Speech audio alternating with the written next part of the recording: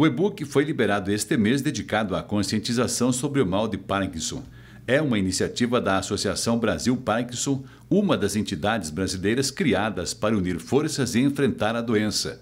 De acordo com a fisioterapeuta Érica Tardelli, presidente da Associação Brasil Parkinson, o conteúdo do e-book traz informações claras e com linguajar simples para que todos possam entender e perceber quem está com a doença que atinge pessoas jovens, não apenas os com mais de 50 anos. É importante o e-book não só para a comunidade científica, para os profissionais da saúde saberem, para os médicos generalistas saberem, e também para a população. Então, quando a pessoa lê e fala, poxa, eu tenho uma alteração no ombro, uma dor no ombro, que eu já fiz tratamento com ortopedista, com reumatologista, que não melhora.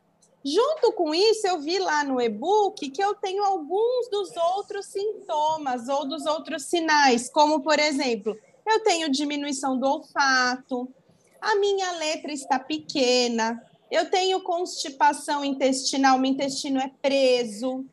Eu tenho uma tristeza que demora a passar, parece uma depressão, ou pode já ter uma depressão.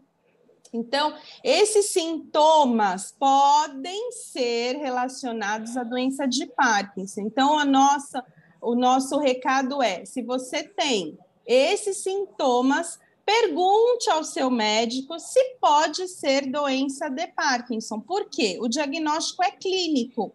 Não existe um exame que detecte a doença de Parkinson. O e-book está disponível para todos os interessados sem custo. É uma iniciativa da Associação Brasil Parkinson com colaboração, com revisão e com chancela do grupo de distúrbios do movimento do Hospital das Clínicas da Faculdade de Medicina da USP, foi revisada pelo Dr. Rubens Cury e a gente tem ele disponível gratuitamente pelo site da Associação Brasil Parkinson, que é o www.parkinson.org.br. Baixem e compartilhem com o maior número de pessoas para que a doença de Parkinson seja é, seja de conhecimento da população.